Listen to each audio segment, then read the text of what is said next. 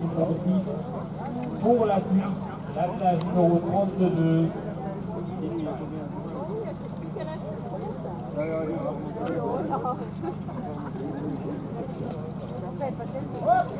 Forward, forward! Homme! Le dans l'obstacle numéro 7 pour euh, la Homme!